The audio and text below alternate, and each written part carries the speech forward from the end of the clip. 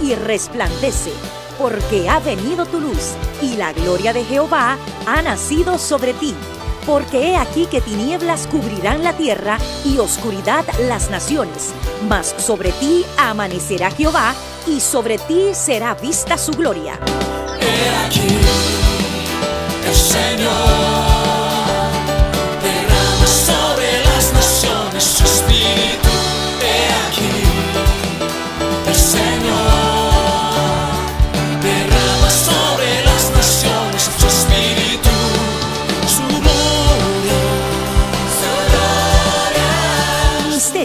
El Amanecer de la Esperanza presenta su programa Voz de Restauración con el pastor Juan Radamés Fernández.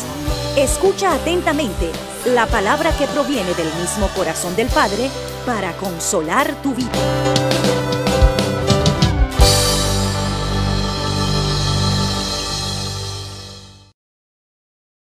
Mi hermano, mi hermana, qué alegría una vez más saludarte en el nombre del Señor y también de nuestro ministerio al amanecer de la esperanza. Eres bienvenido, bienvenida a nuestra programación Voz de Restauración. A continuación vamos a predicar la palabra y queremos que por medio de ella Dios te ilumine y te bendiga y que el fruto, el efecto sea permanente en tu vida. Reitero, eres bienvenido, bienvenida a nuestra programación Voz de Restauración. Ahora juntos estudiemos la palabra del Señor. Amén. Amados, vamos a leer en el Salmo 32 los versículos 8 y 9. Dice el 8, te haré entender y te enseñaré el camino en que debes andar sobre ti fijaré mis ojos. No seáis como el caballo o como el mulo sin entendimiento, que han de ser sujetados con cabestro y con freno, porque si no, no se acercan a ti. Que el Señor nos bendiga a través de la palabra. Ahí en este versículo hay una promesa de Dios, era para Israel, pero ahora ha pasado a ser para todo el pueblo de Dios de todos los siglos. Dios promete, te haré entender. Diga conmigo, te haré entender. Si hay algo que nosotros, los hijos de Dios, necesitamos y siempre hemos necesitado, es entendimiento. Muy importante el entendimiento. A Dios hay que creerle, a Dios hay que conocerle, pero a Dios hay que entenderle. Muchas veces me han hecho, me han oído hablar de, estos tres verbos: creer, conocer y entender. Para mí entender es, diríamos, el clímax de el conocimiento. La Biblia define el, conocer a Dios como fusionarse con Él, ser uno con Él. Y todos hemos escuchado eso muchas veces. Así que si conocer a Dios es hacerse uno con Él, imagínense lo que significa entender. Muchas veces podemos conocer y no entender. Podemos tener información acerca de Dios y podemos tener nublado el entendimiento. Los seres humanos somos tardos para entender. Hay quienes tienen limitaciones mentales, intelectuales, y son tardos para aprender. Estoy hablando del conocimiento humano. Pero aquí estamos hablando del conocimiento espiritual, de conocer a Dios, de conocer los caminos del Señor. Muchas veces seguimos al Señor por muchos años Podemos citar de memoria los pasajes de las escrituras. Hemos sido expuestos a la presencia de Dios y al conocimiento de Dios. Pero no entendemos a Dios. Entender es más que conocer para mí. Es conocer, pero cuando el conocimiento llega a su límite. Por ejemplo, Jacob tuvo una visión de Dios en Betel. Y después que Dios se le reveló, él vio una escalera que subía al cielo y los ángeles que bajaban y subían. Y de momento volvió en él y dijo, Jehová estaba en este lugar y yo no lo sabía. Para mí esa expresión del patriarca era que en ese momento él entendió por la visión que Dios estaba ahí. Muchas veces Dios está en nuestras vidas y no lo vemos.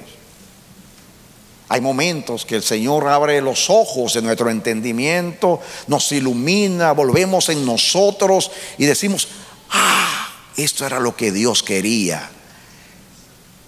Ahora yo entiendo por qué persistía Dios tanto.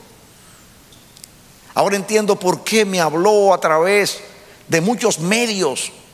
Ahora entiendo.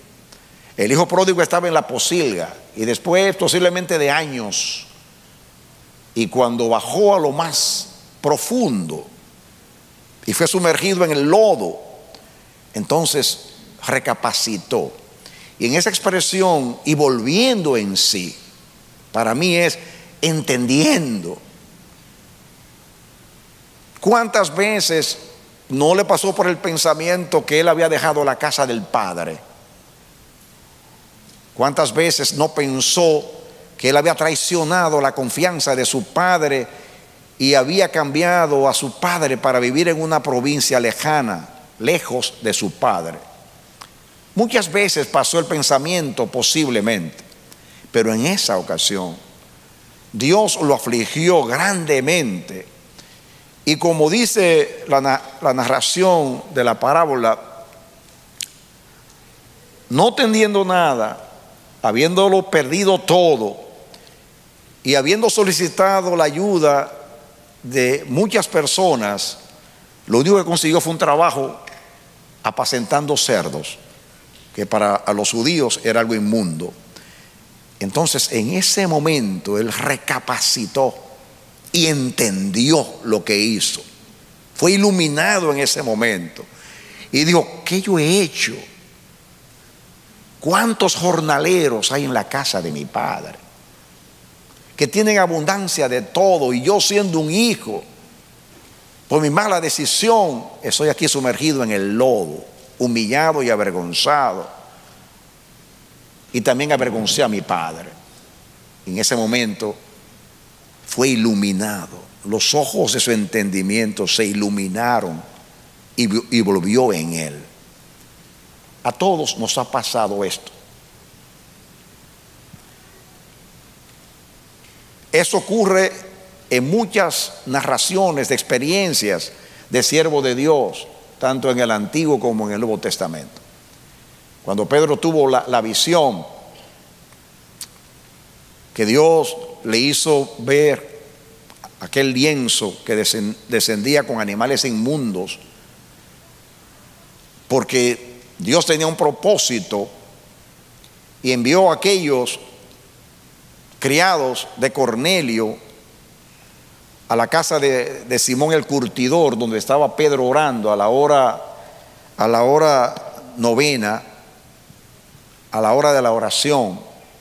Entonces, Dios le dio la visión.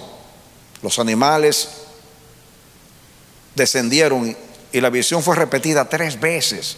Y oía la voz de Dios que le decía, Pedro, mata y come. Y Pedro asombrado, maravillado, maravillado, decía, ¿cómo es posible que el Dios que nos prohibió comer esos alimentos, ahora me está mandando a que yo coma? Y él no entendía, no entendió. Y dice la narración de los hechos que estando Pedro meditando en la visión, oyó la voz de Dios que le dijo, Pedro, tres hombres vienen a ti y te buscan. No dudes ir con ellos, porque yo les he enviado. Quiere decir que Dios interrumpió su inquietud de saber qué es lo que Dios me quiere decir con esta revelación repetida tres veces. Entonces Pedro descendió, recibió a los enviados, los hospedó, salió al día siguiente con unos hermanos, camino a la casa de Cornelio, llegó a la casa de Cornelio, Cornelio le dio la bienvenida y le dijo, bien hiciste con, con haber venido, y entonces Pedro lo cuestiona, ¿qué fue lo que sucedió? Él narra que estaba ayunando y orando cuando se le apareció el ángel del Señor y le habló. Entonces cuando, cuando Pedro oyó el testimonio de Cornelio, en un momento dado, Pedro dijo, ahora entiendo, ahora entiendo que Dios no hace acepción de personas. Ahora yo veo que Dios tiene un pueblo, no solamente entre los hebreos, sino en todas las naciones. Ahora entiendo, decía Pedro. Él no entendía, pero en ese momento se le, abrió el entendimiento. Aquellos dos que iban camino en Maús, que iban apesadumbrados, tristes, abatidos, frustrados, y apareció aquel, aquel extranjero, aquel extraño caminando al lado de ellos. Era Jesús que simulaba ser otra persona. Y les dice, ¿qué conversación es esta? Ellos dicen, eres tú el único forastero que vino a adorar a Jerusalén que que no que ha sucedido y que fue lo que sucedió. Pues Jesús Nazareno, profeta, hombre de Dios, que hizo muchos milagros entre nosotros, pero nuestro pueblo lo mató y aquí este es el tercer día que está que murió, aunque algunas mujeres dice que, que fueron al sepulcro y lo vieron. Y ustedes saben el resto de la historia. Jesús simuló que iba a seguir, ellos lo detuvieron, cenó con ellos, identificaron a Jesús cuando partió el pan y dice que sus ojos fueron abiertos.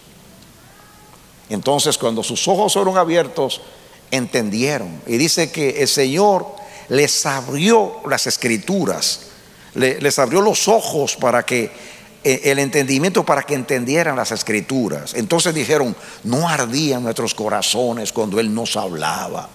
En ese momento cayeron las escamas de sus ojos y entendieron que ese forastero era Jesús y que tenía un propósito al caminar con ellos. Miren el texto que estamos leyendo.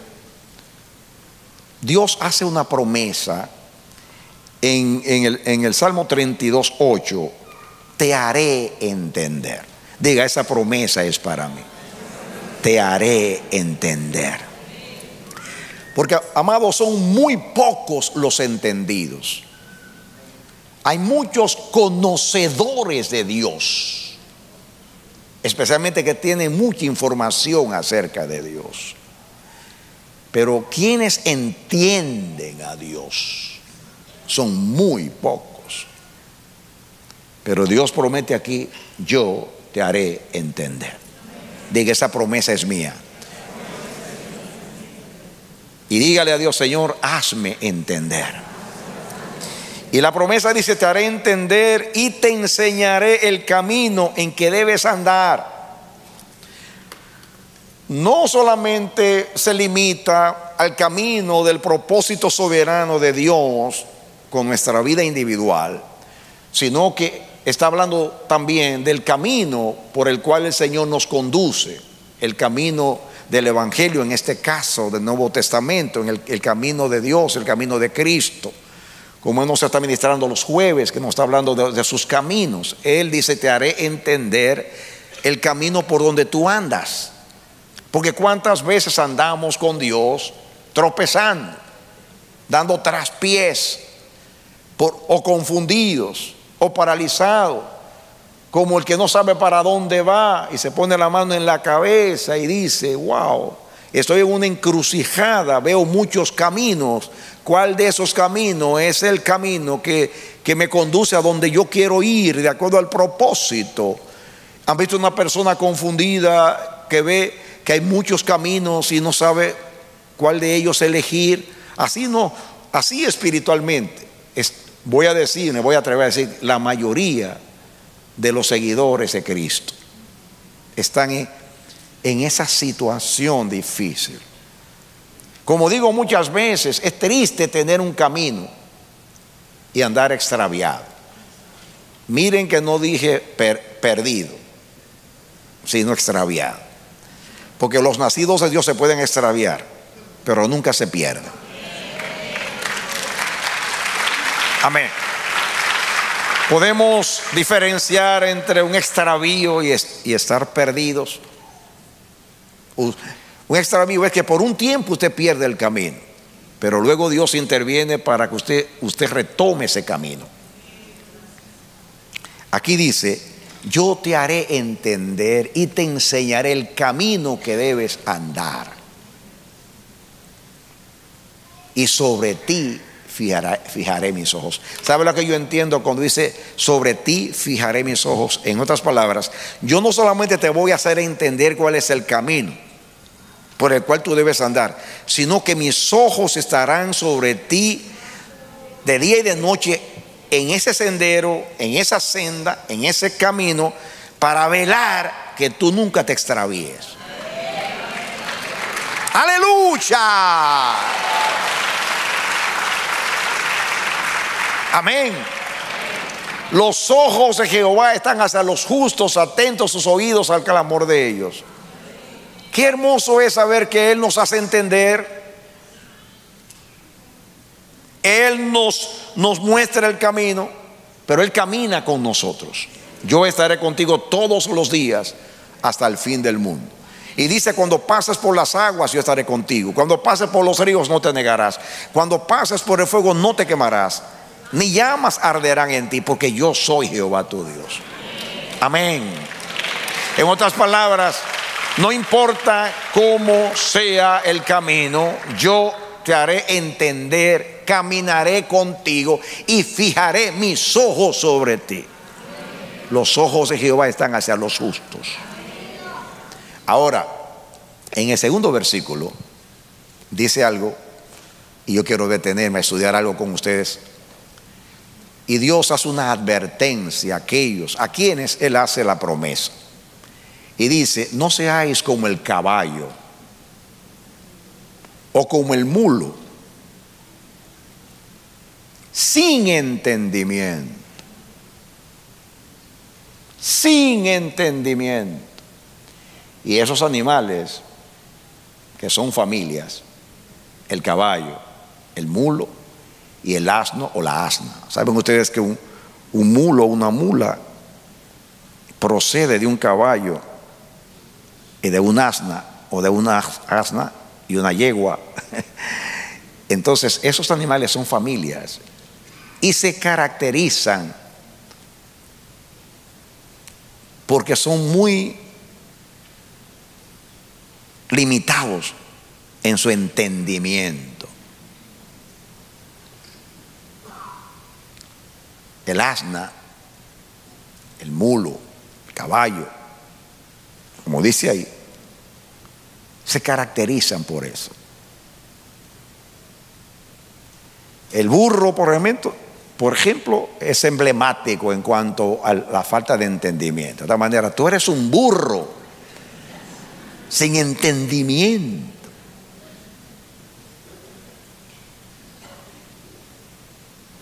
Y ahí dice Dios, no seáis como el caballo, como el mulo, sin entendimiento.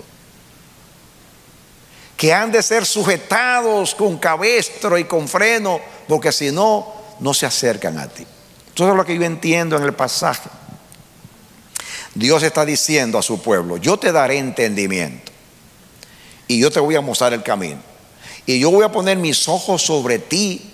En otras palabras, te voy a dar el entendimiento, te voy a, revelar cuál es el camino, te voy a ayudar a caminar por él y voy a velar para que tú no te extravíes. Ahora te voy a advertir, no seas como el caballo o como el mulo, como el asno. En otras palabras, déjate guiar. Déjate conducir. Porque tú no haces nada con tener entendimiento si tú no usas el entendimiento.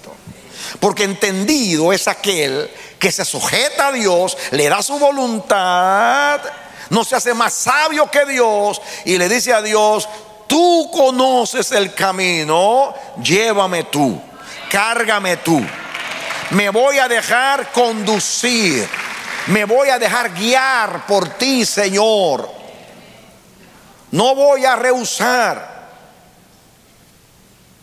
no me voy a resistir, no me voy a rebelar, no voy a ser obstinado y rebelde. No voy a ser como hace el caballo y el, y el mulo, que para poder sujetarlos a esos animales es necesario poner un cabestro o un freno, porque si no, no se acercan.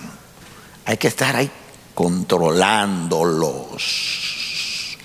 Y miren la palabra sujetarse, que la usamos el domingo, creo, para hablar de que para entregar la voluntad a Dios hay que estar sometido al señorío de Cristo. ¿Saben el trabajo y cuánto suda el Espíritu Santo guiándonos a nosotros?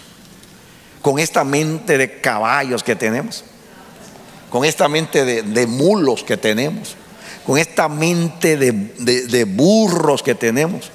Estoy hablando de la naturaleza carnal tuya, no te estoy ofendiendo. Entonces, este es el mensaje del burro. No se rían, vamos a estudiar acerca del burro. Yo quiero primeramente que vean conmigo a Números capítulo 22.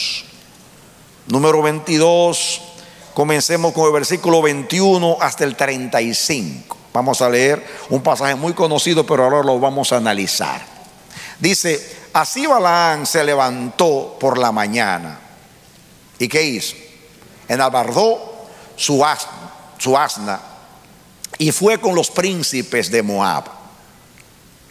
Y la ira de Dios se encendió porque él iba y el ángel de Jehová se puso en el camino por adversario suyo Iba pues él montado sobre su asna y con él dos criados suyos. Párenlo ahí.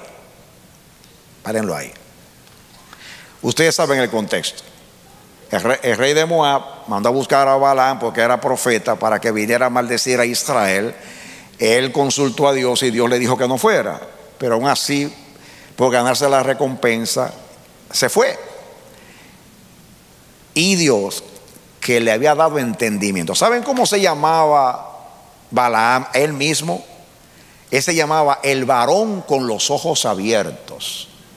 Si ustedes leen estos tres capítulos más o menos que habla ahí, en números, él varias veces, como un estribillo, se llama, así dice el varón, hablando de él, que tiene los ojos abiertos. Otra palabra, que tiene entendimiento.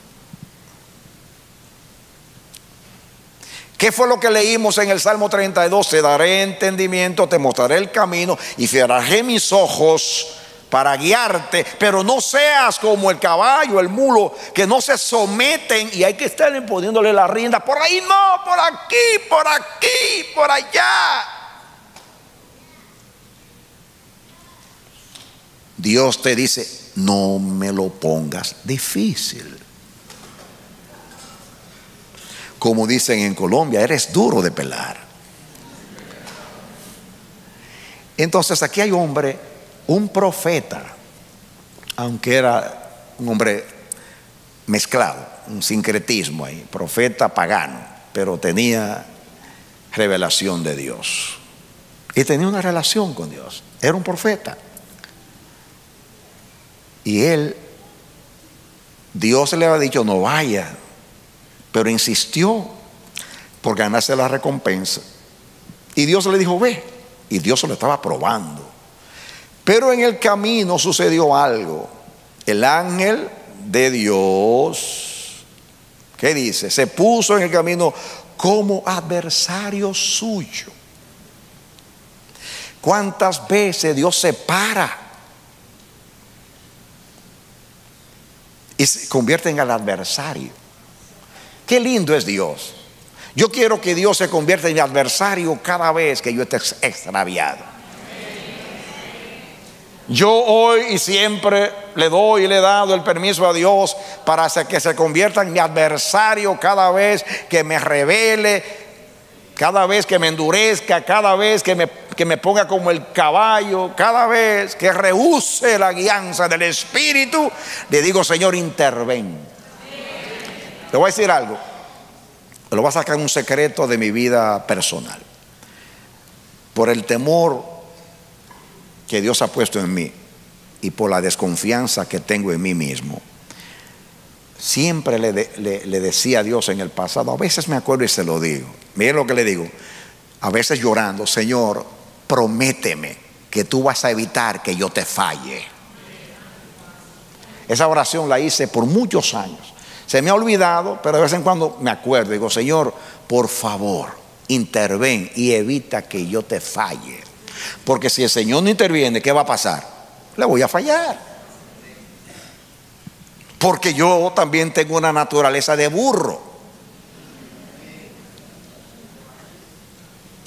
Si Adán estuviera aquí, yo le dijera, por ti nos convertiste en burros el día que creíste más a una bestia que a Dios. Y nos convertimos en burros sin entendimiento.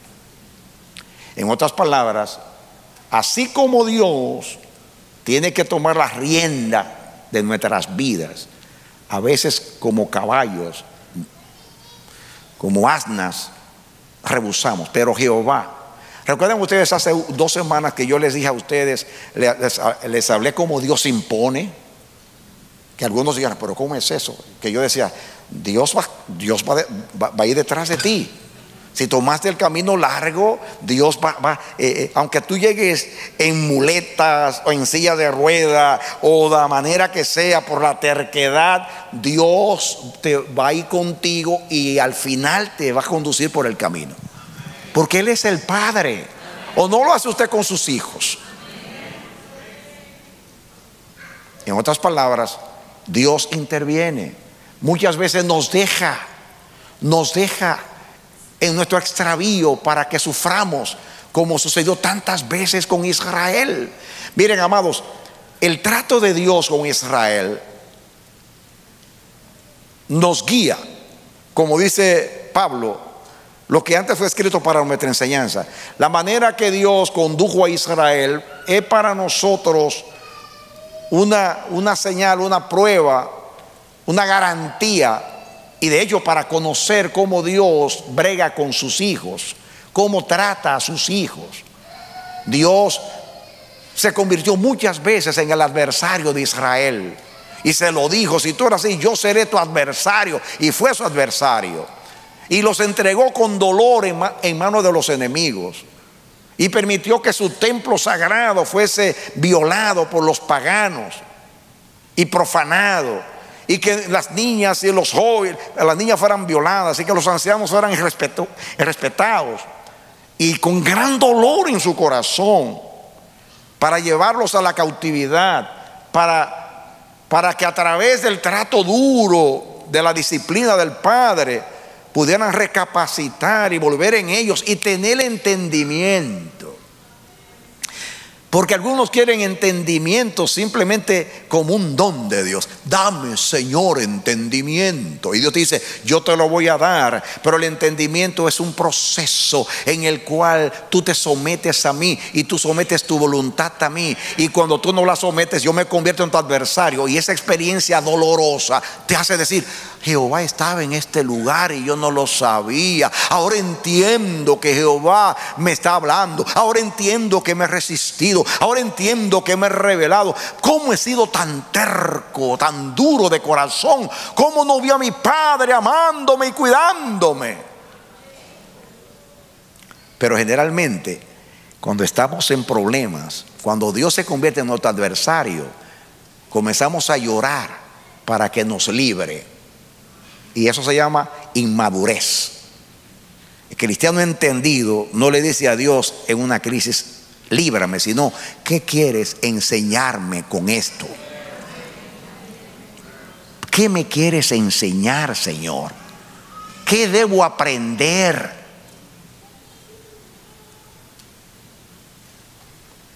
Israel en el desierto duró 40 años y creo que como 41, algunos cuentan 41, 48 estancias, o sea, jornadas donde acamparon. Y yo entiendo que Dios no los sacó de ninguna estancia hasta que no les enseñó lo que era necesario aprender en esa estancia. En otras palabras, Israel quería llegar rápido a Canaán. Y Dios dice, son 48 jornadas, por decir así. Hay que pasar. Y muchas veces Dios nos planta en un lugar y pasamos tiempo, Señor, ¿cómo, ¿cuándo me va a sacar de esta situación? Dios mío, mira los años que han pasado. Y Dios, la respuesta de Dios es tácita, sobreentendida. Dios, si Dios te tiene detenido ahí, te está diciendo, todavía no has pasado de curso o de grado. Tienes que graduarte en esta estancia. Porque yo no soy como el sistema de algunos estados, Estados Unidos, que pasan al niño por la edad o para evitar problemas. No, no, no, no. El que no, el que no aprobó no pasa de grado en la escuela de Dios. Entonces Dios se va a mantener ahí en la estancia, ahí, ahí, y ahí con el cabestro ahí, con el freno ahí, ahí, pero con los ojos, yo déjate guiar. Y cuando el Señor ve que en esa estancia tú, tú aprendiste, te dice, ahora hijo, hemos dado demasiado vuelta en este monte, vámonos de aquí, que tengo otras experiencias lindas contigo. Aleluya. Alábele. Aleluya. La escuela de Dios, aunque hay muchos niños, es para los maduros. Dios a los niños los convierte en maduros. Y que camina con Dios debe, debe tener esa disposición de aprender. Entender. Entender. Yo le ministraba a cierta persona anoche. Yo le decía, las personas que se concentran en el diablo siempre van a estar dando vueltas en el mismo lugar, frustrados, amargados y sin entender. Hay, hay ambientes que el diablo es todo. A veces interrumpen momentos de adoración donde está en el cielo para reprender al diablo. Dios mío, ¿qué tiene que ver el diablo en un culto a Dios? Pero no tienen entendimiento. No tienen entendimiento. Y a veces hay canciones que hablan más del diablo que de Dios. Uno, dos y tres. Satanás no tiene poder 4, 5 y 6 y yo se lo hago ver. 8, 9, 8, 7, 8 y 9, que se enoje si quiere.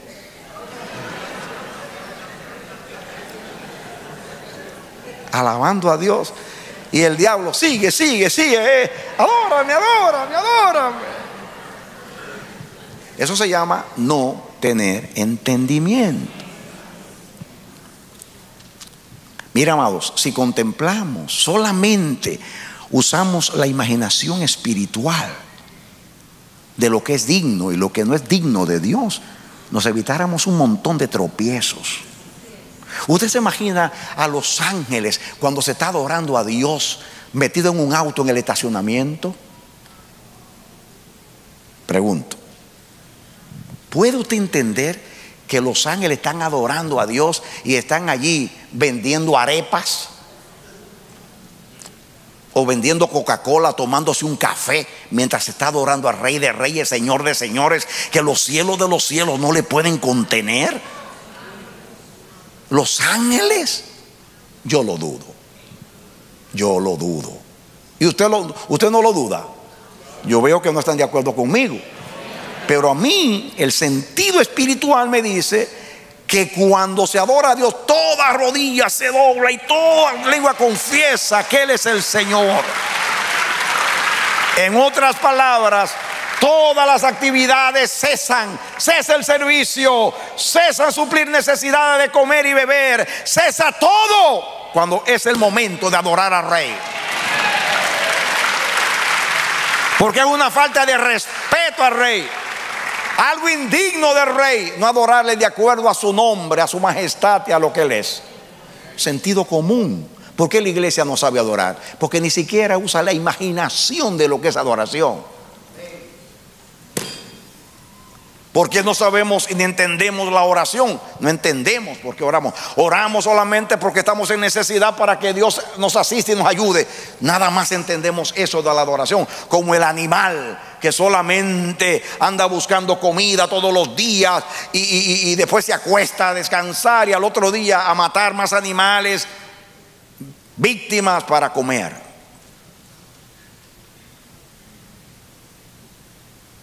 Sin entendimiento. Y así le servimos a Dios en todas las áreas, sin reflexionar, sin decir, ¿es esto digno de Dios? Esto, esto, esto es de Dios. Relaciona a Dios con lo que hacemos. Y por deducción espiritual tú vas a decir, esto no es digno de Dios. Esto no es de Dios. Se te va a abrir el entendimiento. El amor a Dios abre el entendimiento. El temor a Dios abre el entendimiento. El respeto a Dios abre el entendimiento.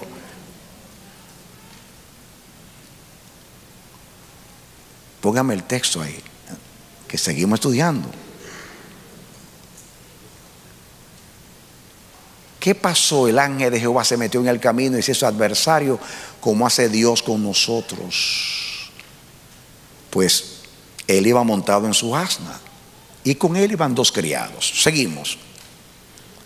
Y el asna vio al ángel de Jehová que estaba en el camino con su espada desnuda en su mano. ¿Quién vio al ángel?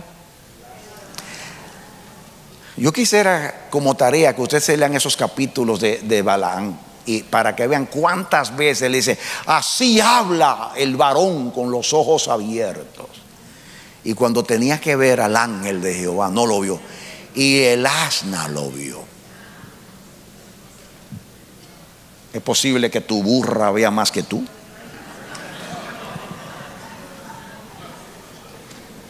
Eso no es para avergonzar, eso es para confrontar. Es posible que la burra pueda mirar al ángel de Jehová. Hay muchas experiencias de los bebés, de los niños, que se quedan así mirando y se pueden reírse. Muchos creen que ven ángeles de Dios, los niños, ah, pero no se acuerdan, nunca cuando crecen nunca se van a acordar de eso. Pero nosotros sabemos que Dios camina con nosotros. Y todos sabemos que tenemos un ángel, guardián que nos cuida. Jesús se lo dijo. Entonces, es, es posible que un profeta, Dios lo estaba avergonzando. Se le hizo adversario y el asna veía más que él. Y se apartó el asna del camino e iba por el campo. Entonces azotó Balaam al asna para hacerla volver al camino. Cuando ella vio al ángel de Jehová con la espada desenvainada, eso no por acá, por acá. Y él tercamente caminaba hacia donde estaba la espada. ¿Cuántas veces, por ser duros de corazón y tardos para entender, nos lanzamos hacia donde está la espada del ángel adversario?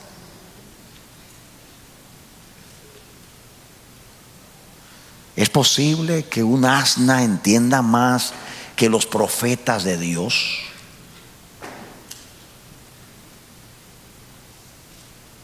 ¿Y qué hizo el profeta? Comenzó azotar duramente a su asna. Wow. En vez de felicitarla y darle las gracias, la comenzó a golpear. ¿Cuántas veces Dios manda a algunas personas que nosotros consideramos como personas estúpidas, sin entendimiento? Y Dios los envía para amonestarte, te dice, eso está mal, eso te va a llevar por un mal camino, no continúes en eso. Cállate, ¿qué sabes tú? Yo tengo 40 años sirviéndole al Señor. Y el diablo repite, 40 años es uno repetido 40 veces. Tiene 40 años y es un año repetido 40 veces. Eres el mismo. Con un océano de conocimiento, pero con una pulgada de profundidad. Y como el pavo real y Dios está hablando por ese niño sin entendimiento, recién convertido. Porque Dios aún a las piedras las hace hablar. Y si un asna se comporta así una piedra, es una materia inerte que nunca va a hablar.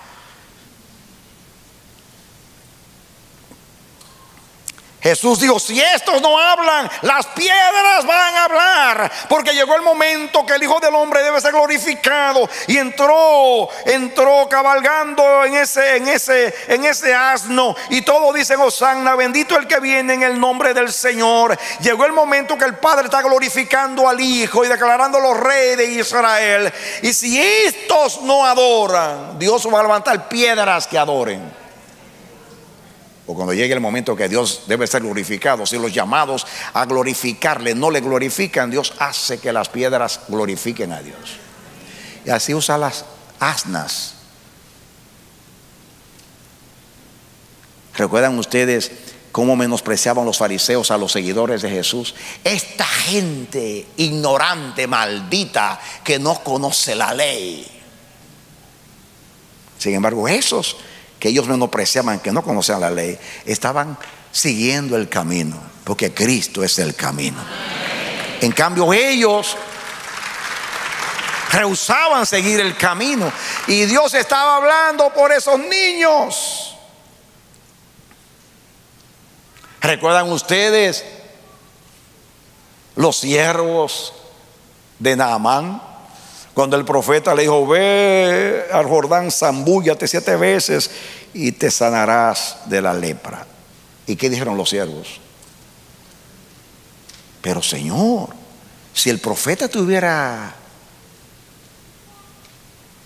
recomendado hacer algo complicado, tú no lo hubieras hecho. Lo que se está diciendo es que te zambullas siete veces. Por favor. ¿Saben por qué, por qué los siervos entendían? Porque el capitán estaba siempre dando órdenes. Capitán del ejército. Miles de soldados me obedecían. Y ahora vienen los siervitos que como están acostumbrados a seguir instrucciones, no, le, no era problema irse a zambullir. Pero usted no, ¿qué, voy? ¿qué me está mandando a mí? Si sobre mí, mi sombrero, sobre mi caballo yo y sobre mí mi sombrero. Aquí voy yo. Yo solo estoy dramatizando, pero hay muchas reacciones parecidas de orgullo y soberbia. Pero el que es entendido dice, Dios habla por piedras, Dios habla por asna, Dios habla por niños.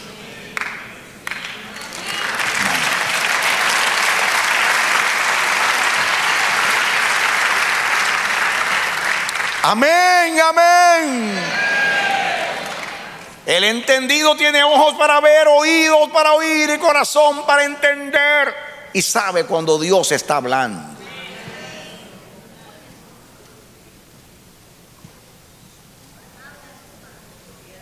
Pero ¿saben ustedes cómo ofendemos esta gente que no conoce a Dios? Mira este, enseñándome a mí.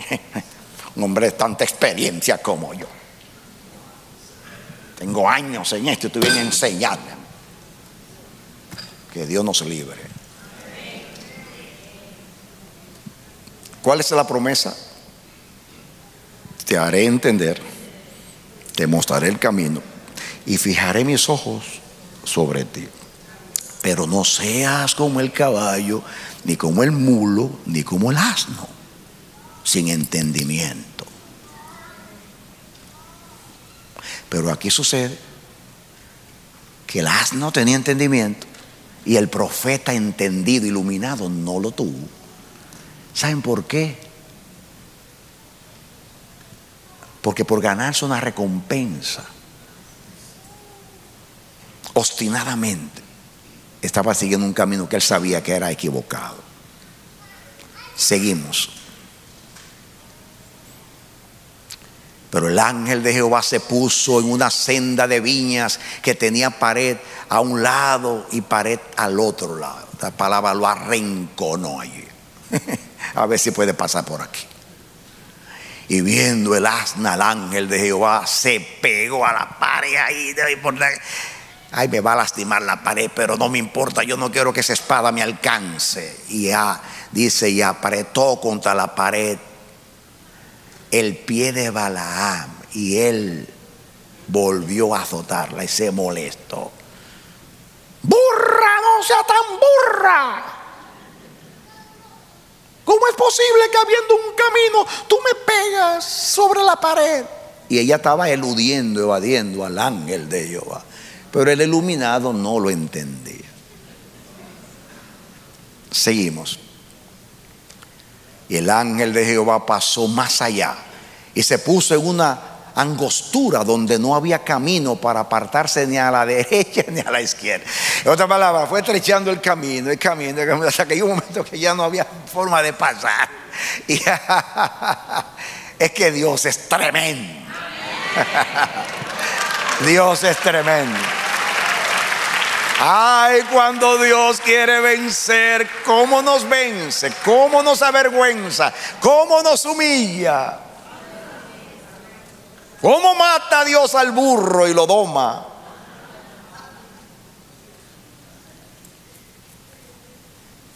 Sigan, versículo que sigue. Y viendo el asna, el ángel de Jehová se echó debajo de Balaam echó debajo de Balaam. Y Balaam se enojó y azotó al asna con un palo. Ahí le comenzó a darle como nunca. Enojado. Sigan. Entonces Jehová abrió la boca al asna. Santo. ¿Cuántas asnas nos han hablado a nosotros, hermano? Santo. Miren cómo Dios ha abierto la boca de muchas personas en nuestras vidas que nosotros jamás pensábamos que alguien así podía aconsejarnos o decirnos algo que fuera verdad. Subestimamos a veces a los niños, a los burritos, a los asnitos. Entonces Jehová abrió la boca al asna, la cual dijo a Balaam, ¿qué te he hecho? Que me has, que me has azotado estas tres veces. Seguimos. Y Balán respondió al asna, porque te has burlado de mí. Ojalá tuviera espada en mi mano, que ahora te mataría. Y el asna le dice, es que yo estoy corriendo a una espada. no me importa la tuya.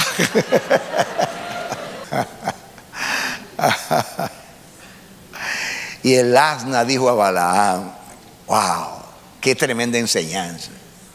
Dios hablando por un animal. ¿Cuántos saben que los burros hablan? Claro que sí, ahí lo dice la Biblia. La Biblia lo dice que los burros hablan. ¿no soy yo tu asna? Sobre mí has cabalgado desde que tú me tienes hasta este día. He acostumbrado a hacerlo así contigo. Y él respondió, no, no sé qué te pasa hoy. Sigan. Entonces Jehová abrió los ojos de Balán. Santo Dios. Qué hermoso cuando Dios abre nuestros ojos. Y vio al ángel de Jehová. Qué triste que la asna lo vio primero. Que estaba en el camino. Y tenía su espada desnuda en su mano. Y Balán hizo reverencia y se inclinó sobre su rostro. ¿Saben qué?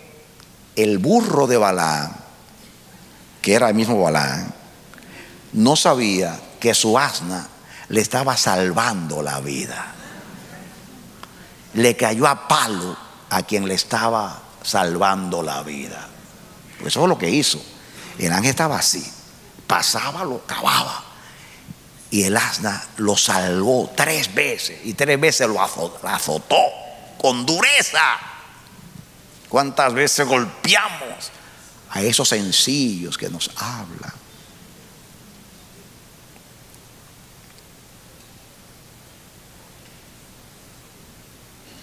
Y dice, eh, ahora se volvió adorador, ¿verdad? Comenzó a reverenciar a Alán, a postrarse delante de Alán. Y el ángel de Jehová le dijo, ¿por qué has azotado tu asna estas tres veces? He aquí yo he salido para resistirte, porque tu camino es perverso delante de mí. Wow.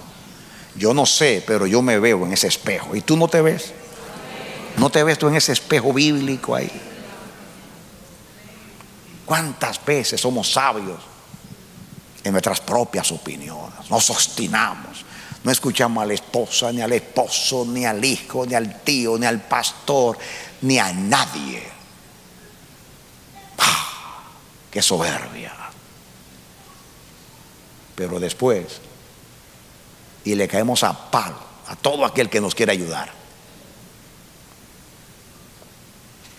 Y después cuando estamos afligidos, por favor, ore por mí.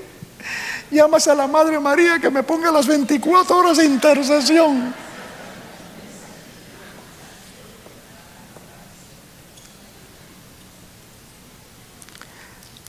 Seguimos. Este es el mensaje de, de, de los burros.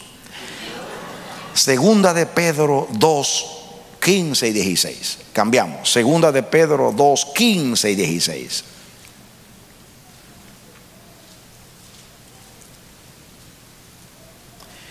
Dice aquí Pedro, hablando de algunos, han dejado el camino recto, recto, y se han extraviado siguiendo el camino de Balaam, hijo de, hijo de Beor.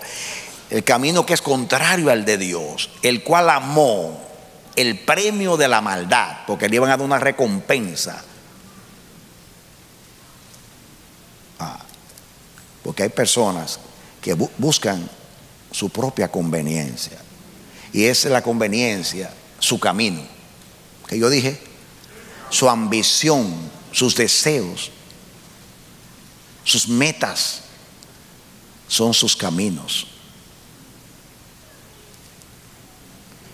Y andan detrás de una recompensa.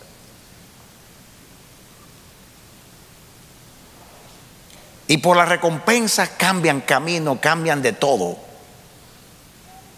por un provecho personal, sabiendo que están actuando en contra de la voluntad de Dios.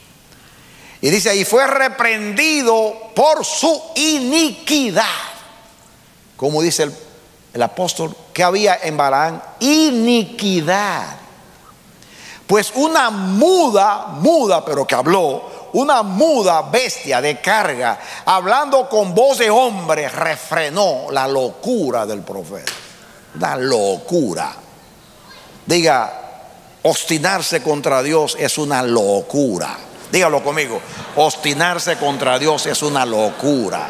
Resistir al Espíritu Santo que nos quiere guiar a toda verdad es una locura. azotar con palos a, a los burros o a los asnos que son, puede ser un niño, un ignorante, que Dios manda para exhortarnos. Y lo que hacemos es que los lastimamos con palabras. Como dice ahí, frenó, es una locura.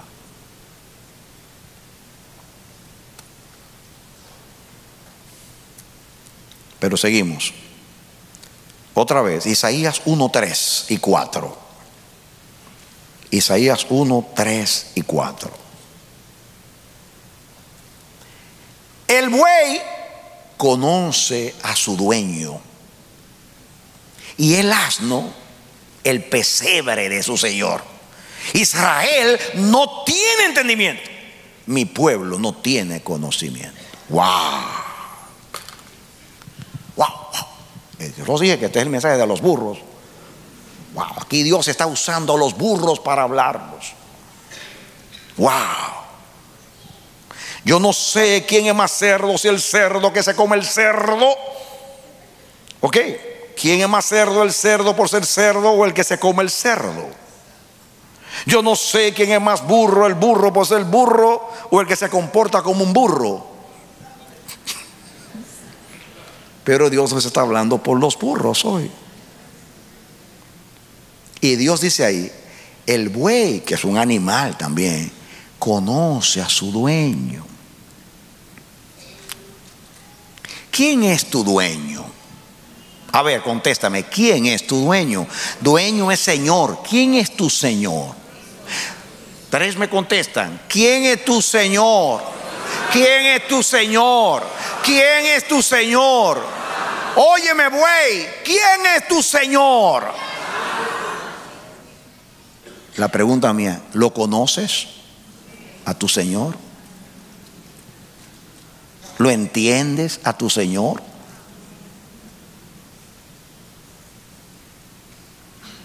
El buey conoce a su dueño, a su Señor.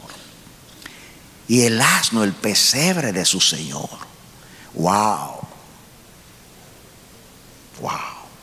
¿Recuerdan cuando al niño Jesús María fue a parir a un pesebre. Ahí, imagínense el olor de los excrementos de los animales. Y la cabra y las ovejas, ve, ve, ve. Hacen a veces los caballos. Y esos ruidos de los animales. Wow. De momento llegan los pastores y se inclinan delante del bebé. Y llegan los magos de Oriente y se inclinan. Y el burrito está mirando y dice, wow, todos se inclinan frente a este. Este debe ser mi Señor. Y el burrito se inclinó. ¿Dónde lo dice la Biblia? Y lo dice. El asno conoce el pesebre de su Señor. Pero Israel lo rechazó porque no tenía entendimiento. ¡Wow! Todos esos animales que estaban allí entendían quién era el niño. El burro que estaba ahí entendía. Entendía. Miren, Jesús le dijo a Pedro, Pedro, ¿Quiénes, ¿Quiénes son los que pagan los impuestos? Bueno, el pueblo. ¿A quiénes? A los que están en autoridad. Bueno, Israel tenía que pagar un impuesto. Creo que eran 20 ciclos. Cada judío para sostener el templo. Pero los sacerdotes, los rabinos, no lo tenían que pagar. Pero a Jesús lo menospreciaron y vinieron a cobrárselo como diciendo, tú no eres nadie, tú no eres un rabino, tú no eres nadie, tú tienes que pagar los ciclos de plata. Y se lo querían cobrar a Pedro y a Jesús. Por eso Jesús le hizo la pregunta a Pedro. Dice, Pedro, mira, haz lo siguiente. Vete al mar de Galilea tire el anzuelo. Y el primer pez que venga, él va a traer el impuesto tuyo y el mío. Y tiró y sacó el pez y dentro estaban las dos monedas. Y el pez obedeció a su señor y le pagó los impuestos. Porque los líderes no reconocían que ese era el Hijo de Dios y era más que un rabino, era el rey de Israel.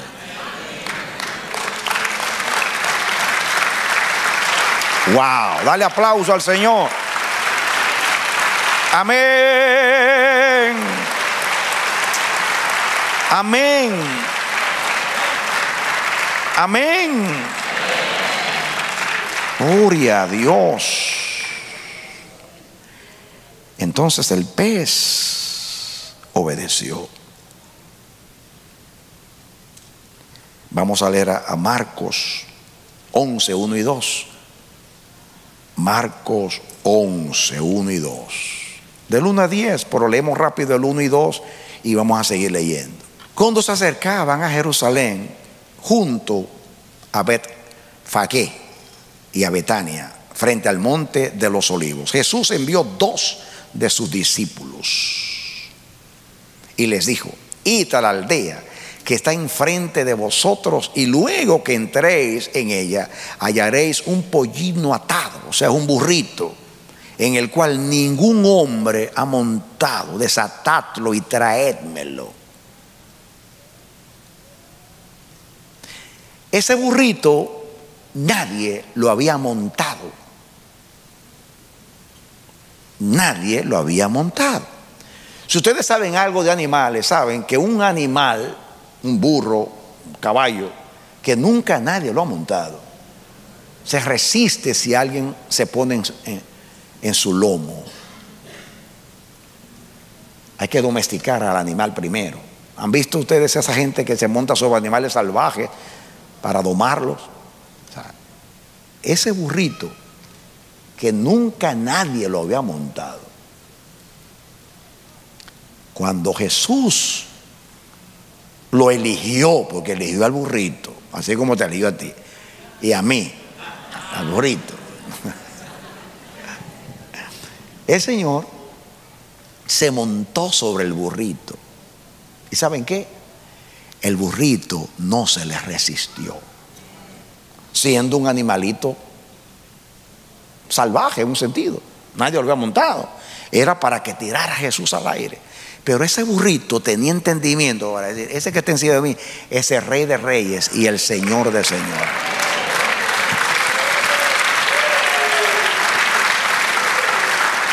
El asno conoce a su señor. El asno, el asno, el asno conoce a su señor. El buey conoce a su señor. Y tú, tú, tú, tú, tú, conoces a tu señor.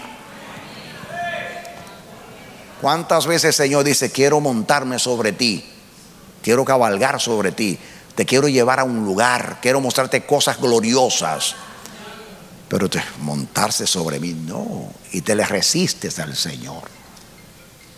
Cuando Él quiere guiar tu vida por sendero de justicia, por amor a su nombre. Y ese burrito le sirvió a Jesús para ser glorificado. Sigan leyendo vamos a leer rapidito solamente para ver cómo Dios usó el burrito. Y si alguno os dijere, ¿por qué habéis, por qué hacéis esto? Decid, el Señor lo necesita y que luego lo devolverá. Fueron y hallaron al pollino atado afuera a, la puerta en, el recodo del camino y lo desataron. Y unos de los que estaban allí les, les dijeron, ¿qué hacéis desatando el pollino? Y ellos entonces les dijeron, como Jesús había mandado, y los dejaron. Trajeron el pollino a Jesús, y dice aquí, y echaron sobre él sus mantos, y se sentó sobre él. Linda. Cuando Jesús necesita su burro, el burro le cede su lomo. Y trajeron el pollino a Jesús y echaron sobre él sus mantos y él se sentó sobre él. Seguimos. También muchos tendían sus mantos por el camino y otros cortaban ramas de árboles y las tendían por el camino.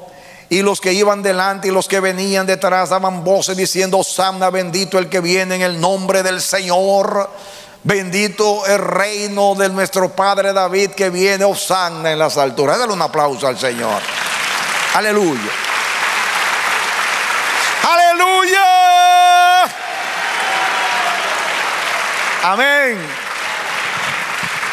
El buey y el burro que estaban en el pesebre cuando nació Jesús reconocieron que él era. Sin embargo, Israel no tenía entendimiento. Y ahora este asno que nadie lo había montado le cede su lomo a Jesús para que sea proclamado rey de Israel.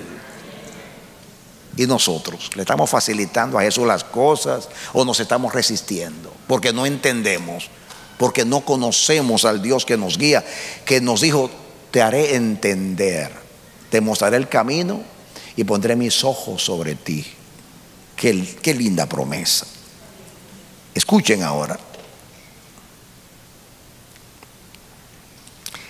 Vamos a leer a Job 6.5.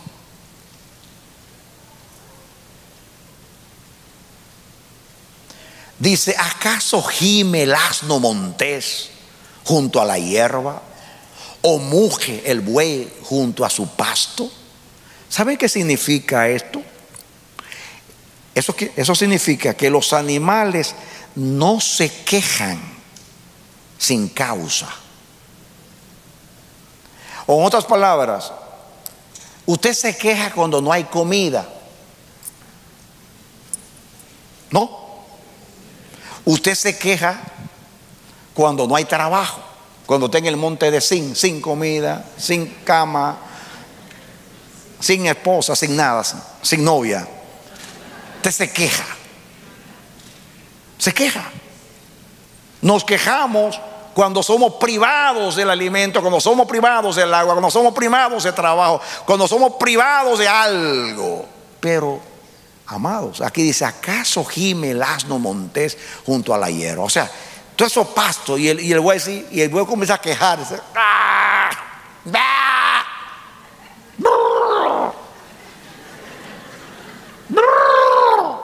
Hace el buey así cuando hay pasto. En otras palabras, se queja el buey cuando hay comida. ¿Y por qué tú te quejas teniéndolo todo? Entonces el buey y el asno no tienen el espíritu de queja, porque queja, según los libros de Moisés, según Dios dijo, que quejas es murmuración contra Dios. Este pueblo vive murmurando, me dijo Dios muchas veces de Israel. Amados, amados, los animales son tan entendidos que no se quejan cuando Dios provee para ellos. Sin embargo, los que no tienen entendimiento se pasan quejándose. La mujer que me diste, el esposo que me diste, este bendito trabajo. Y se quejan de todo teniéndolo todo. ¿No se te ocurre dar gracias a Dios? No tienes entendimiento. Desnudo viniste al mundo y desnudo tú te vas. A menos que no te comp- compren un traje para meterte en la caja. Y el Dios del cielo, desde que naciste, te ha provisto todo. ¿Por qué? ¿Por qué? ¿Por qué tú gimes frente a las bendiciones de Dios en vez de dar gracias? ¿Por qué tú muge frente a la abundancia? Ni el asno ni el buey hacen eso. Son agradecidos. ¿De dónde está en mí? ¿Me- ¿Estamos entendiendo? ¡Wow! ¿Cuánto estamos aprendiendo de los burros hoy? Santo. Cuando te estés quejando, tú vas a decir, ¡Wow! El asno montés frente a la comida, la hierba que Dios le ha provisto, no gime. Y el buey que está frente a los pastos que Dios le provee, no muge. ¿Por qué me estoy yo quejando? Si Jehová me ha bendecido con toda bendición espiritual en lugares celestiales y no me falta nada. En vez de quejarme por lo que no tengo, doy gracias por lo que tengo. Y con mi actitud de dar gracias reconozco que Dios es fiel y es bueno y que sin merecer nada lo tengo todo. Denle un aplauso al Señor. Wow. Wow, qué sabiduría. ¿Cuánto aprendemos del, de- del asno montés y del buey? A no quejarnos cuando hay bendición. Pero nosotros, aún habiendo todas las bendiciones, siempre estamos quejándonos. Wow. Algunos son una pura queja. Se quejan cuando llueve, se quejan cuando, cuando está soleado, se quejan cuando está nublado. Wow. Aprendamos de los burros.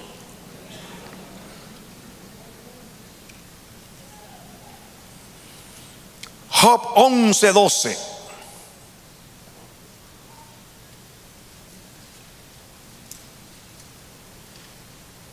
Wow, esto, esto, es- este texto es tremendo. Esto se lo dijo uno de los amigos de Job. Sofar, y no no, no es Sofar.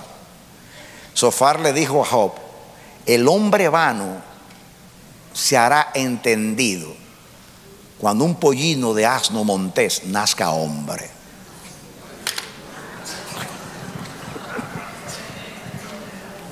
Wow. Óigame, no te, no, no, no, te enojes conmigo, pero te lo voy a decir a ti a ver cómo suena. Tú, tú vas a ser entendido cuando un burro se vuelva hombre.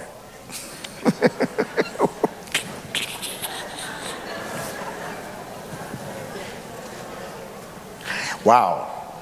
¿Sabe qué le está diciendo a Job ahí? Le está diciendo hombre vano. Quejándote de Dios, quejándote, juzgando a Dios y con esa actitud de víctima.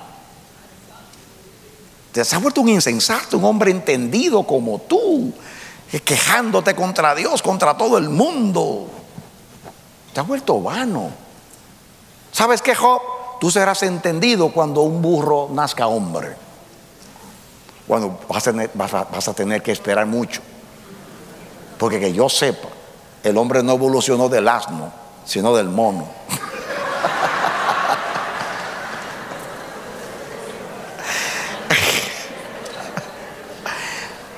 Estaba hablando con mi esposa del disparate de la evolución y mi esposa decía, bueno, yo no sé si ya hemos evolucionado hasta aquí, ¿en qué se va a convertir el hombre?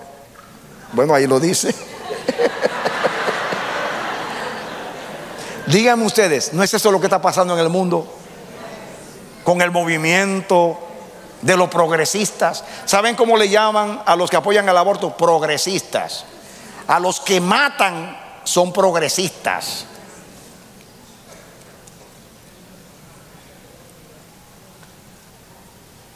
Los que están en contra de la familia y del hogar y a favor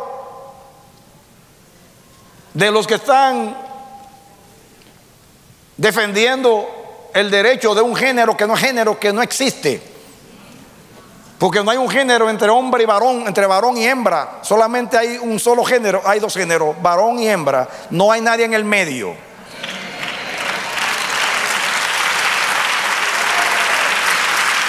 Se puede llamar progreso, por ejemplo, en Estados Unidos, que desde que se aprobó el aborto han matado más de 50 millones de niños. ¿Eso es progreso? Se puede llamar progreso, se puede llamar progreso que están destruyendo el hogar y la familia, confundiendo a los niños diciéndole que eso no importa, varón o hembra, no importa nada, confundiendo, irse en contra de la naturaleza. ¿Es eso ser progresista? Wow. Ser progresista es destruir lo que hemos logrado. Es progreso destruir lo que hemos logrado como sociedad por la misericordia y la revelación de Dios. El hombre moderno se le puede aplicar eso. Es un hombre vano y van a tener entendimiento, se jactan de su conocimiento Y ellos van a ser entendidos cuando los asnos se conviertan en hombres. Porque ellos siendo hombres se están convirtiendo en asnos. Es más fácil que un hombre se convierta en asno, que un asno se convierta en hombre, ¿no? Pues mira, está sucediendo eso. Wow. Santo, que Dios nos libre. Uy, yo tengo mucho acá, pero el tiempo ha pasado. ¿Será que hay un tema dos de los burros?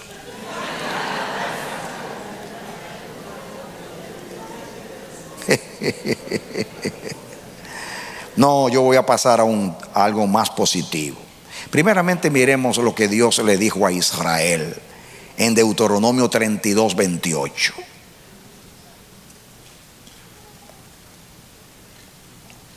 Después vamos a seguir. Porque son nación privada de consejos y no hay en ellos entendimiento. Wow. ¿Qué dice Isaías 1.3? Que el buey conoce a su dueño y el, el asno el pesebre de su Señor. Pero Israel, mi pueblo, no tiene entendimiento. No tiene entendimiento. Porque son nación privada de consejos y no hay en ellos entendimiento. Eso dijo Moisés a Israel. Ahora, yo quiero pasar a, un, quizás después sigamos, pero yo quiero pasar a, a una nota más positiva en esto. Yo quiero que leamos a Daniel 12.3. Daniel 12.3. Wow.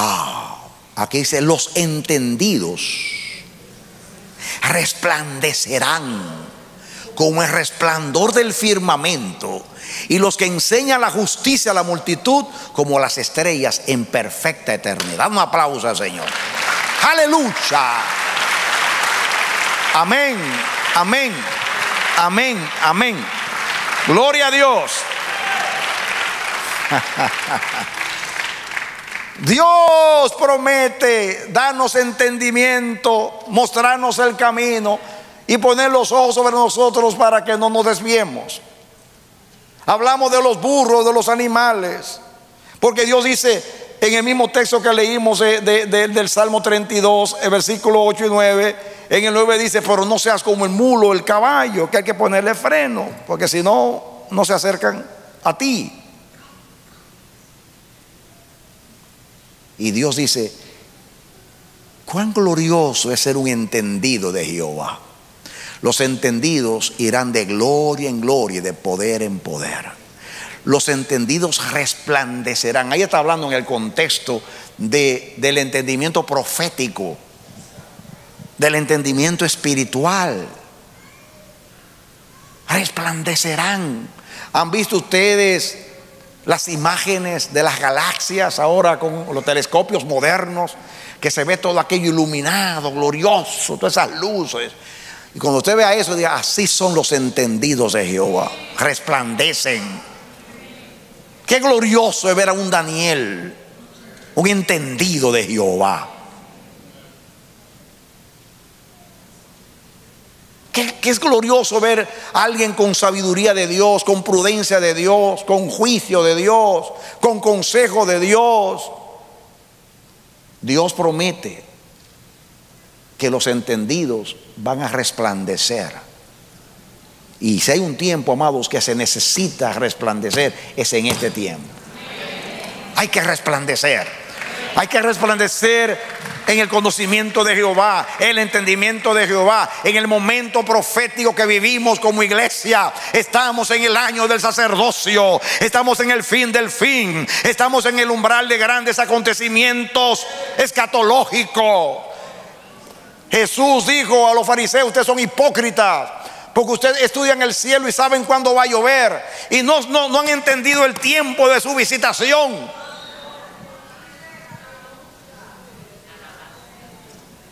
¿Qué tendrá que hacer Dios con la iglesia de hoy? ¿Qué tendrá que hacer Dios con nosotros, amados?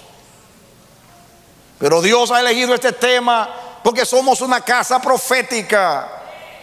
Y Dios a los profetas nos ha dado espíritu de revelación y de entendimiento. Que no seamos como Balaam, un profeta terco, un profeta que anda en pos de una recompensa, un profeta que una, una asna tuvo que frenar su locura. No, Dios quiere que seamos entendidos, que resplandezcamos en un mundo en tinieblas. Y hoy se levanta Dios y te repite amanecer de la esperanza. El texto de Isaías 61, levántate, resplandece, porque ha venido tu luz y la gloria de Jehová ha nacido sobre ti. Porque aquí que tinieblas cubrirán la tierra y oscuridad de las naciones, más sobre ti nacerá Jehová y sobre ti será vista su gloria. Y los reyes de la tierra andarán en la luz de tu resplandor, dice la palabra gloriosa del Señor. Aleluya. Amén. Vamos a resplandecer en medio de las tinieblas como los entendidos de Jehová. Voy a leer dos textos más para terminar. El primero se encuentra en Efesios, en el capítulo 1. Efesios capítulo 1. Vamos a comenzar a leer desde el 16 hasta el 18. Efesios 1. Miren lo que dice. No ceso de dar gracias por vosotros, haciendo memoria de vosotros en mis oraciones. Así habla el apóstol a los Efesios. Para que el Dios de nuestro Señor Jesucristo, el Padre de gloria, os dé espíritu de sabiduría y de revelación en el conocimiento de Él. Pablo dobla sus rodillas delante del Dios y Padre del Señor Jesucristo para que la iglesia reciba para que el Dios de nuestro Señor Jesucristo, el Padre de gloria, os dé espíritu de sabiduría y de revelación en el conocimiento de Él. Pídale a Dios. Intercesores de las 24 horas, todos oremos para que Dios derrame espíritu de sabiduría y de revelación en el conocimiento de Él.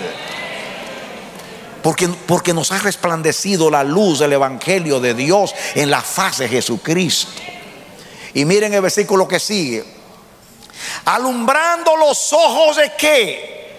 De nuestro entendimiento. Amados, Pida, pidámosle a Dios que nos dé espíritu de sabiduría y de consejo y de entendimiento. Que Dios haga iluminar los ojos de nuestro entendimiento. Que caigan las escamas de nuestros ojos para que sepamos cuál es la esperanza a la que os hemos sido llamados. O si conociéramos la esperanza a la cual hemos sido llamados. ¿Y cuál es ¿Y cuál es la riqueza de la gloria de nuestra herencia? Oh, si conociéramos y entendiéramos la esperanza que hemos recibido y la herencia que Cristo conquistó para nosotros. Versículo que sigue. ¿Y cuál la supereminente grandeza de su poder? Diga esperanza, herencia y poder. Dios quiere que entenga, que entendamos lo que Él nos ha dado y lo que es Cristo para nosotros. Y cuál la supereminente grandeza de su poder para con nosotros los que creemos, según la operación del poder de su fuerza. Den un aplauso al Señor. Aleluya. Amén. Amén, amén, amén, amén, amén. Oh, gloria a Dios. Siento la presencia del Señor. Yo quiero terminar con una palabra que el Señor dio a Israel a través del profeta Isaías. Isaías 43, 10.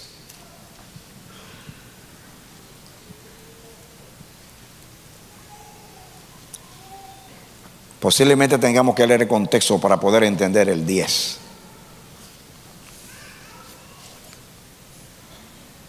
Miren.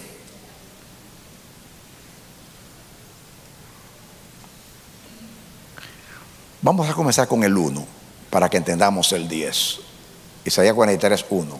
Jehová, dice, ahora sí dice Jehová, creador tuyo, oh Jacob, y formador tuyo, oh Israel.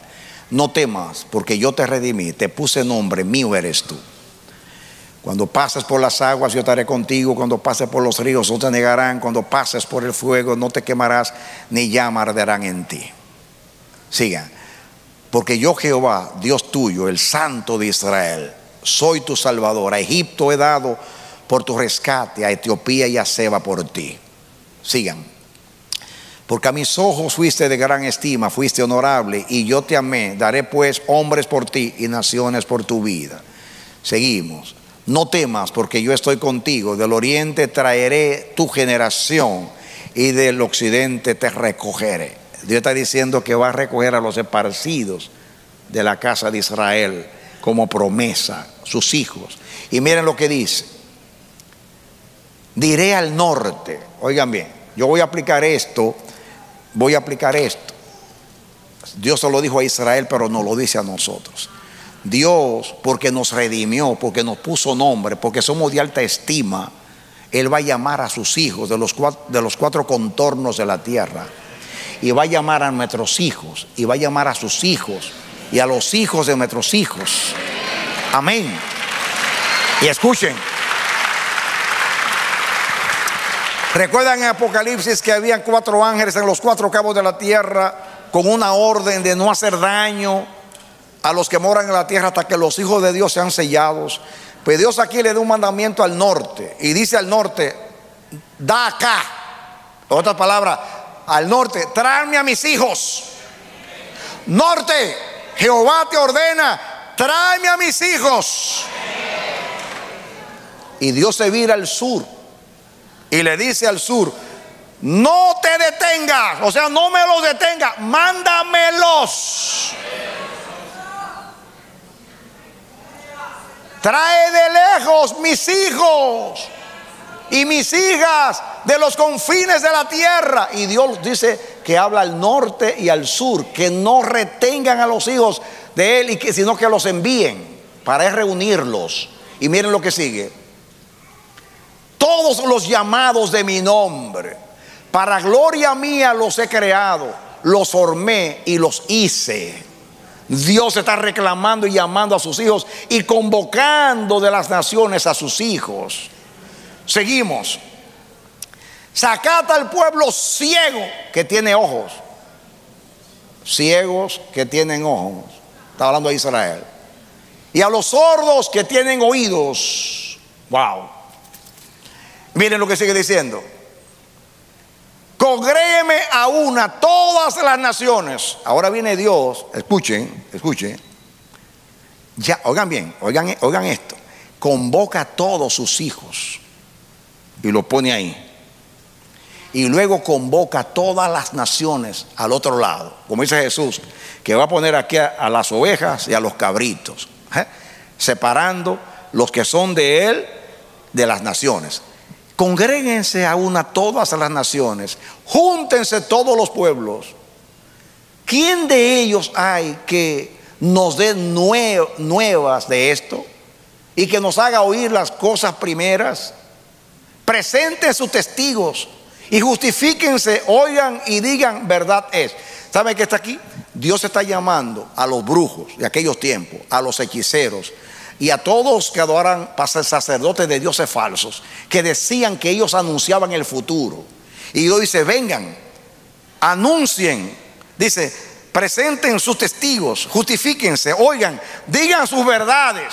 Le dice aquí, todas las naciones, digan sus verdades. Díganme lo que ustedes hacen. Muestren todo lo que usted ha anunciado en cuanto al futuro, su brujería, su hechicería y todos sus poderes mágicos paganos. Justifíquense, traigan sus verdades. Versículo que sigue. Entonces, después que a esto lo desafía, brujos, hechiceros, para que digan sus verdades, se justifiquen, se vira hacia el otro grupo, a los que recogió de los cuatro contornos de la tierra, sus hijos, y, se dirige a ellos diciendo, vosotros sois mis testigos, dice Jehová, y mi siervo que yo escogí, para que me conozcáis, creáis y entendáis que yo mismo soy. Antes de mí no fue formado Dios, ni lo será después de mí.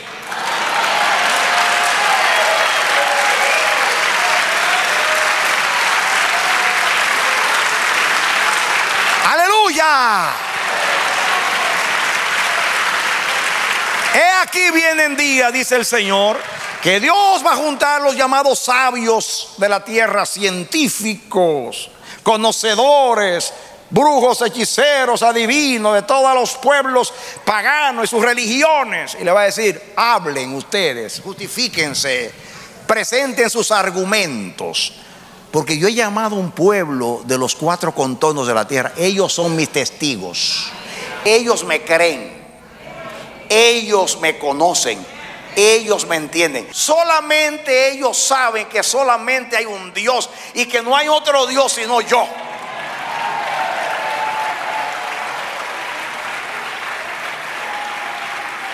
Y Dios, escuchen esto, Dios, oigan esto, lo, grande de esto es esto, que después que Dios reúne a este y lo desafía y llame a su pueblo, miren lo que hace Dios, se echa a un lado y dice, por milenio soy yo el que he hablado, pero yo hoy me callo para que hablen mis testigos.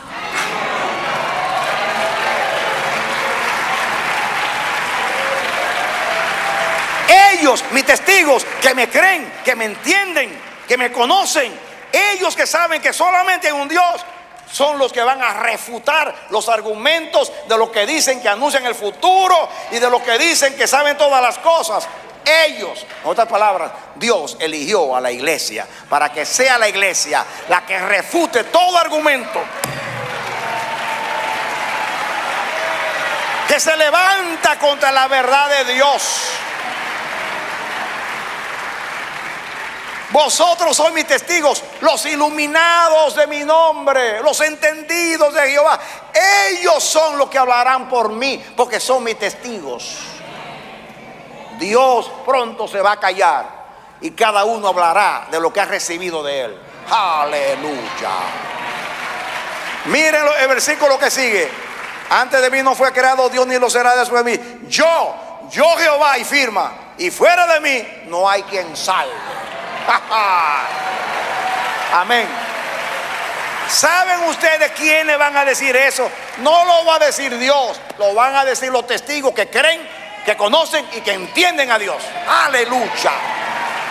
Porque han estado con Él en el secreto. Han estado con Él en el secreto. Han caminado con Él. Lo conocen y testifican que los dioses de los pueblos son ídolos y que todo argumento es filosofía hueca, que solamente el Evangelio es palabra de Dios, que solamente la Biblia es palabra de Dios. Y que aunque hay muchos que se llaman dioses en el cielo y en la tierra, solamente hay un Dios, Jehová de los ejércitos. Aleluya. Yo, yo Jehová, y fuera de mí no hay quien salve. Mire lo que sigue diciendo, versículo 12. Yo anuncié, salvé e hice oír. Y no hubo entre vosotros Dios ajeno. Vosotros pues sois mis testigos, dice Jehová, que yo soy Dios. Aleluya. Amén. ¿Quiénes testificarán de Dios? Los que le creen. Los que le creen. Zacarías se quedó mudo, el sacerdote, porque no le creyó. ¿Quiénes hablarán de ese Dios? Los que le creen. Los que lo conocen y más los que le entienden. Ellos refutarán a las naciones, brujos, hechiceros y todos aquellos que dicen que anuncian cosas. Nosotros sabemos que solamente hay un Dios, el único que salva.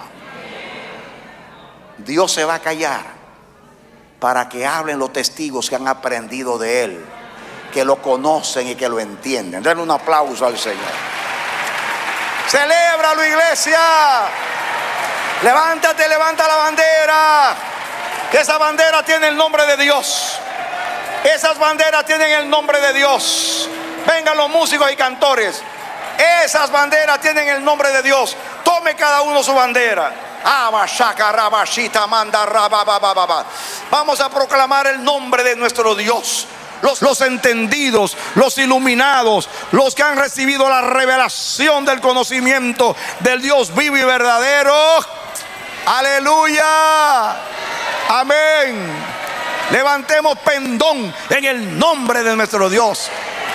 Ay, los testigos de Jehová somos nosotros. Aleluya. Esto no es un nombre. Eso no es un nombre. No somos testigos de Jehová por un nombre, sino porque le conocemos, porque le hemos visto, porque porque por eso podemos testificar de él, porque somos los entendidos que resplandecemos. Aleluya.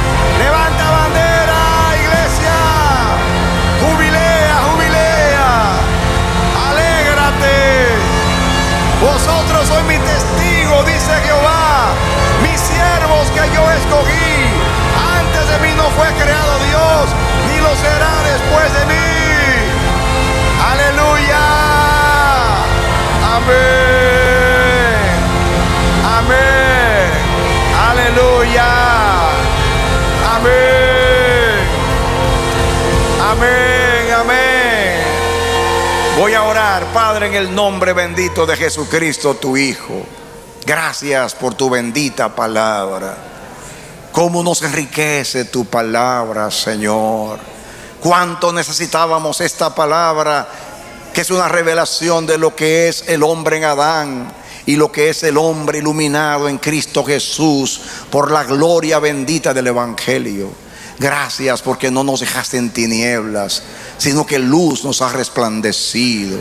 Gracias porque somos un pueblo iluminado, Señor.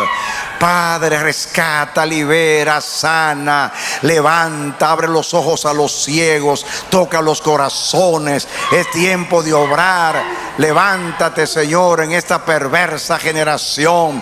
Une a tu pueblo de los cuatro contornos de la tierra, tanto a Israel como a la iglesia. Dios mío, y haz lo que tú tienes que hacer. Avergüenza a los reyes de la tierra. Avergüenza todas las filosofías huecas Señor, que han querido contrarrestarte. Solo tú eres Dios, Señor. Antes de ti no fue creado Dios, ni lo será después. Solo tú salvas, Señor. Somos los testigos que creemos porque tú nos diste fe. Padre, conocemos porque te hiciste uno con nosotros. Y Señor, te entendemos. Porque tú, Señor, nos ha llevado a esta plenitud. Gracias por el Espíritu Santo que nos ilumina. Yo bendigo a este pueblo en tu nombre, en tu palabra y en tu pacto. Y te ruego que esta palabra permanezca como una luz perenne en nuestros corazones, como una exhortación que no termina para vivir siempre reflexionando. Danos humildad para reconocer lo que somos. Y cuando tú uses a los niños, a los imberbes, a los neófitos, que lo podemos considerar como asnos en este contexto, podamos decir, habla Señor, que tus siervos oyen. Enséñanos como tú quieras. Si quieres humillarnos enseñándonos usando los simples, aquí estamos Señor. Pero por favor, no nos dejes extraviados en el camino. Que siempre haya luz. Que se cumpla en cada uno de nosotros la promesa del Salmo 32, 8 te haré entender, te haré entender. Te voy a mostrar el camino por el cual tú debes andar. Y mis ojos estarán sobre ti para guiarte hasta el final. Echamos mano a esa promesa. En el nombre de Jesús. Den un aplauso al Señor.